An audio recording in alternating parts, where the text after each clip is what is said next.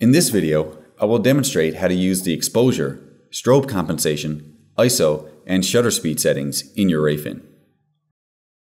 From left to right, the controls are strobe enable, auto and manual exposure, exposure adjustment slider, shutter speed,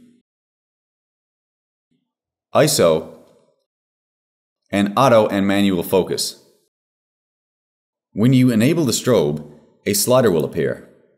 Use the slider to control the intensity, with 0 being no compensation and minus 10 the maximum. The purpose of strobe compensation is to temporarily lower the exposure value when taking a still. This creates a usable preview while also capturing stills using the correct exposure. Exposure controls the amount of light that enters your camera. This impacts the brightness of your image or video. Use the button labeled AE and ME to switch between auto and manual exposure. When in auto exposure mode, you can control the exposure slider, which biases the ISO and shutter speed. When in manual exposure mode, you can control the shutter speed and ISO independently.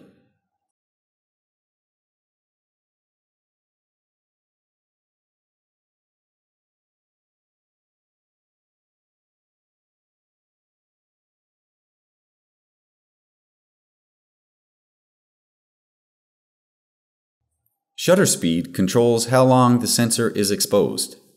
It affects image brightness, but has to be balanced against the motion or speed of the scene. When in manual exposure mode, use the arrows to control the shutter speed. ISO controls the gain of the image, which affects brightness and noise. When in manual exposure mode, use the arrows to control the ISO.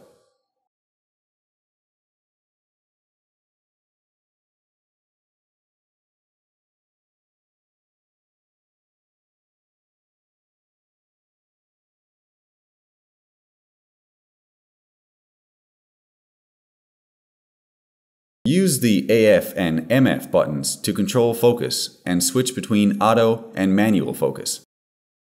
When in manual focus mode, use the slider to control the focus.